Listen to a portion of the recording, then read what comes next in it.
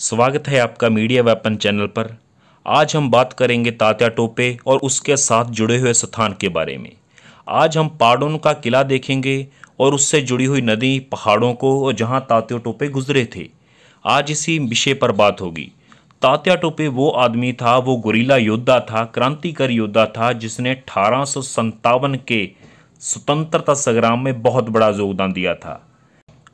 रानी लक्ष्मीबाई, बहादुर शाह जाफ़र नाना साहब के बाद अगर भारतीयों की कमांड संभाली तो वो थे तात्या टोपे। इसने अंग्रेज़ों के खिवाल खिलाफ मोर्चा खोल रखा था और उत्तरी भारत बड़े क्रांतिकारी लोगों में इनका नाम आता था, योद्धा में नाम आता था। ये गुरीला युद्ध नीति में बहुत ज़्यादा माहर थे। कहा जाता कि इनका जन्म 1804 में हुआ था और कुछ स्रोतों के मुताबिक इनका जन्म 1813 14 के दरमियान भी कहा जाता है महाराष्ट्र में। तब मराठा साम्राज्य हुआ करता था वहाँ पर। और इनको फांसी आखिर में अंग्रेज़ों ने शिपरी में दी थी मध्य प्रदेश के में अठारह सौ उनसठ में। आज इन्हीं सभी बातों को हम विचारेंगे, गौर करेंगे। शारीरिक तौर पर इसकी, इनकी मूछें बड़ी हुआ करती थी, छाती चौड़ी हुआ करती थी और 30-40 मील का ये सफ़र आसानी से तय कर लिया करते थे पहाड़ों से, नदियों से और अंग्रेज़ सामने हुआ करते थे, घेरा हुआ करता था, मगर पता नहीं चलता था उनको कि कब वो अपना घेरा तोड़ के निकल जाते थे।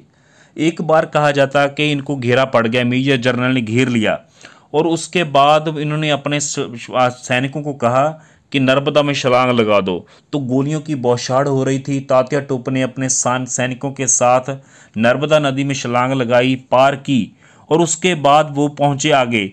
अंग्रेज़ों ने फिर घेर लिया, बड़ौदा पहुँचे थे, अंग्रेज़ों ने फिर घेर लिया था, मगर हौसला ना हारा और फिर छोटे उदयपुर होते हुए देवास पहुँचे थे और फिर आखिर पाडौन पहुँचे थे। आप इस वक्त पाडौन के जंगल, किला और पहाड़ देख रहे हैं। तब मान सिंह के पास आकर उन्होंने विश्राम किया था। तात्या टोपे की खास बात यह भी थी कि जो राजा महाराजा अंग्रेज़ों का साथ दिया करते थे, वो तात्या टोपे उनके हथियार, तोपें वगैरह छीन कर ले जाता था। और उन जब किसी फौज पर हमला करता था तो उनका राशन और हथियार भी लूट कर ले जाता था। मतलब इस किस्म का बहादुर योद्धा था। एक बार तो मैं और बता दूँ कि अंग्रेज़ों के पास बहुत बड़ी फौज थी और तात्या टोपे के पास कुछ थोड़े से गोरीला योद्धा थे। मगर फिर भी उसने अंग्रेज़ों के नाकों में नाक नाक में दम करके रख दिया था। मतलब तात्या टोपी की महानता और वीरता इस बात से भी पता चलती है कि उन्होंने कालपी ग्वालियर और कानपुर भी, भी कब्जा कर लिया था। तात्या टोपे जब पाडन पहुँचे तो मान सिंह के यहाँ ठहरे थे। मगर अंग्रेज़ों ने सोचा कि इस तरह तो तात्या टोपे को काबू नहीं किया जा सकता उसे किसी न किसी तरीके से जाल में फंसाया जाए और काबू में किया जाए।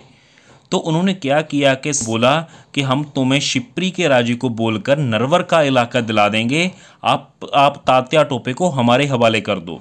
तो उसके लालच बसाकर मान सिंह ने क्या किया कि तात्या टुप्पू को बोला कि मैं तुम्हें सुरक्षित जगह पर लेकर जा रहा हूँ आप मेरे साथ चल गए तो हुआ क्या कि उसके साथ चल पड़े और उसके बाद सात अप्रैल अठारह सौ उनसठ में उन्होंने आधी रात को तात्या टोपे को अंग्रेज़ों को गिरफ़्तार करवा दिया।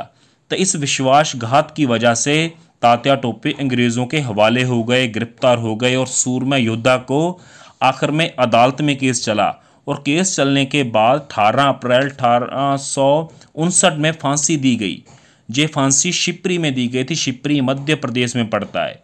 मतलब कि इस तरीके से उसको विश्वासघात की वजह से गिरफ़्तार होना पड़ा, शहादत देनी पड़ी। आखिर में जब उन्होंने बोला, फांसी के समय कि अपना मुँह ढक लें और आँखें बंद कर लें?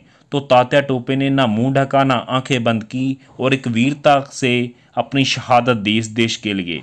आखिर में कहा जाता है कि इंग्लैंड उनके कपड़े ले गया था और उसके बाद भारत सरकार ने वो कपड़े भारत में वापस लाए थे। और एक और ख़ास बता दूँ कि कुछ समय ईस्ट इंडिया कंपनी के बंगाल आर्मी में तोपखाने में भी काम किया था तात्या टोपे ने। तात्या टोपे एक महान योद्धा अठारह सौ सत्तावन को अगर याद किया जाएगा तो तात्या टोपे को भी याद किया जाएगा। ये वही जंगल हैं, ये यही इमारतें हैं, यहाँ तात्या टोपे कहीं भी गुजरा करते थे। यहाँ पर प्राचीन मूर्तियाँ भी पड़ी हुई हैं और प्राचीन खंडर हुआ मंदिर भी है। वहाँ जो तात्या टोपे अक्सर आया जाया करते थे यहाँ के लोगों ने हमें बताया। मतलब कि इसके हर जर्रे जर्रे पे तात्या टोपे के निशाने वो योद्धा था, हमेशा महान रहेगा। मगर इसके बाद बहुत सारी बातें और भी हैं कि ये मकान उसी समय के गवाहें मतलब कि यहाँ रहने वाले लोगों ने तात्या टोपई भी खा देखा होगा। ये उस समय की विरासत को बयान कर रहे हैं। ये देखो 300 साल पुराना, ये भी प्राचीन मंदिर है। इसके अलावा एक और मंदिर है खंडर तो हो चुका है। मगर फिर भी उस समय का इतिहास दिखा रहा है। सो आपने वीडियो देख पूरी वीडियो देखने के लिए आप सभी का धन्यवाद। सो और भी ऐतिहासिक वीडियोज़ हम लेकर आते रहेंगे। धन्यवाद, मेहरबानी।